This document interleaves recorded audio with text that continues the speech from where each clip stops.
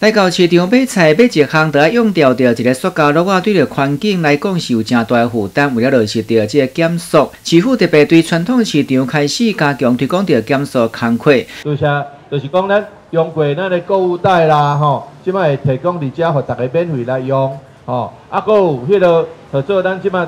环保局所提出的叫做水的，吼，诶，这个啊环保局共同提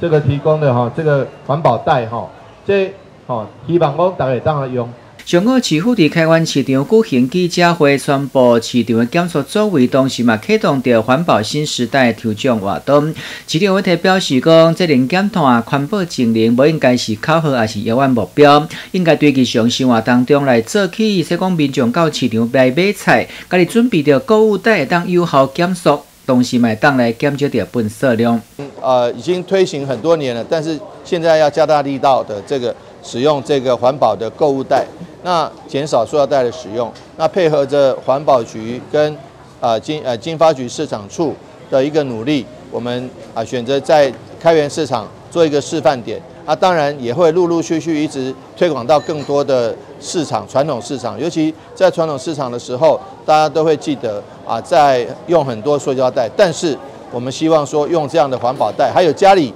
使用过的购物袋来。啊，取代塑料袋的使用，这样子的话，啊，就能够对地球更友善，而且减少碳足迹。记者会环保新时代推奖活动，从五月份开始到十一月底，只要家己准备，也是来组这个购物袋来到市场来消费。要来额外输出掉塑胶袋啊，就会当到开元市场的主题会会场的单位来扫描 QR code，填好掉资料了后，来甲购物袋来合名来上传，就当来参加掉抽奖。因为当地八月份甲十一月份的抽奖奖品是开元市场的三百块的购物金，只有就希望民众多多响应，家己来买物件。准备着购物袋，减速大家做回来。南天新闻台向台南采访报道。